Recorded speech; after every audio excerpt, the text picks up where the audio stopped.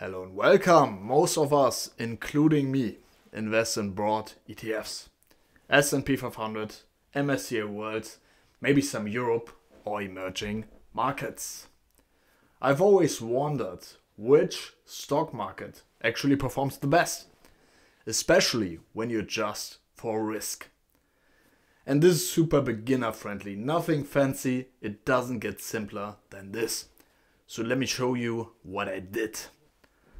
I pulled roughly 20 of the major global indices US, Europe, Japan, India, China, Brazil, the usual suspects. I'm using yfinance to download the daily prices starting from 2020.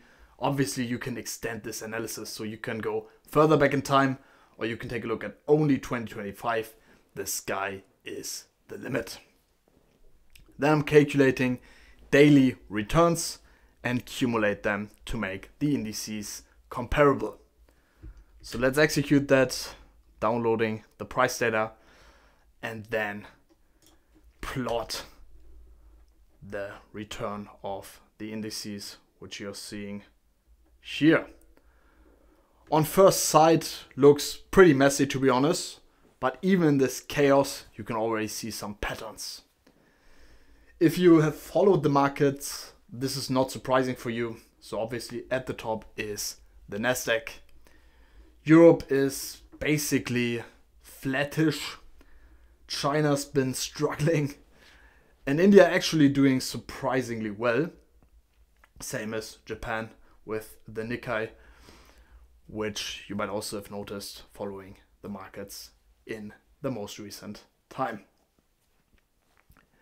Now, to make this a bit clearer, let's just take a look at the top five performers over our period. So let me copy paste that. For some reason I got rid of this line. So you're seeing here, not surprisingly, again, the Nasdaq top performer nearly tripled since 2020. We got the Nifty here, we got the Nikkei here, the S&P 500, not surprisingly, and also this one, I didn't know that before, this is the Kospi, I hope I pronunciate that right, that is the Korean one. I've never heard of that one before, but this also seems to run pretty well here. By the way, how I'm doing that technically is I'm taking the cumulative data frame, so this is just the daily returns cumulated over time meaning this is the first day, then the second day, cum cumulative return, fourth day, fifth day, and so on. So this row here is the overall cumulative return. That's why I'm taking the tail here because I know this is the overall cumulative return. So I just have to take that and take a look at the top five values to get the top performers here. And this one super convenient function from pandas. This is transforming a data frame. I'm using that a lot because it's super useful. Let me show you how that looks step by step. So the tail is obviously just looking like this. So I have it as a data frame. Then I'm squeezing that to a series, have it nicely like this. So I'm getting all the tickers cumulative returns on the last day. And then I can just apply an largest. Super convenient, just as a side note. Same story for the smallest. Here the bottom five. Well, we have Europe here, sadly, so with the FTSE, one of Europe's most well-known indices here. We got Australia here, our Australian boys and girls, and obviously we got Hong Kong struggling a lot, even losing money over the uh, period. Also got Brazil and Shanghai here at the bottom. Now, raw performance is obviously also interesting, but doesn't tell us the full story. Some of these markets might only look great because they're extremely volatile. So let's take a look at the basics, annual return, volatility, and a simple Sharpe ratio, which basically tells you how much return you're getting per unit of risk. So this is what I'm doing here. As you see, Sharpe function calculating the Sharpe ratio. So you take the mean return minus the risk rate. I'm setting it to zero here, which is obviously wrong because risk rate is somewhere around three-ish percent. Depends a bit where you are in the world. In the world, but uh, you can amend that. Doesn't change much here, and then set that to relation to the annualized volatility in the form of the standard deviation of the returns. So you just pass the returns to this function here. And then this one, this is a classic maximum drawdown. So what you're doing here is you accumulate, then you search for the cumulative max, set that into relation to the cumulative return, and then set that to relation to peak. So in the end, you want to know when taking a look at the minimum, then what is the max loss you made from the perspective of the peak of your P&L or return. And then finally, I'm just putting that all in a data frame. So mean return times trading days,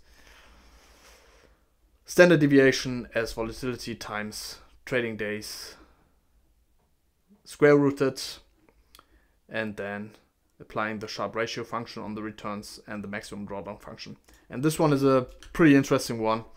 So this metrics table, I'm sorting this by the Sharpe ra ratio, so the risk adjusted return here and you see a pretty interesting uh, picture here. You see that the Nasdaq has the highest Sharpe ratio.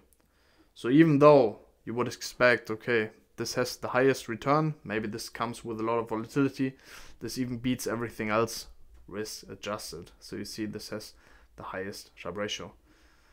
I might show that the other way around. This is a bit misleading. So this is ascending so you can just turn that around and now you see it the right way around, right? So just top at the top and lowest at the bottom. Interestingly, max drawdown is 35%, which is quite a hit. Then second one, which is also an interesting one, is the Nifty here. You might expect India, volatile markets, insane return, but also Sharpe ratio wise quite a good pick here. And then, I mean, you can go through this table for yourself. For me, probably the European markets are more interesting, as you can tell from the accent. But I'm also investing a lot in the good old United States. So this is the global comparison in a nutshell. And this whole analysis, obviously, is raising a really interesting follow up question, at least for me, and honestly, for every person working in investment, finance, quant finance, whatever you want to call it.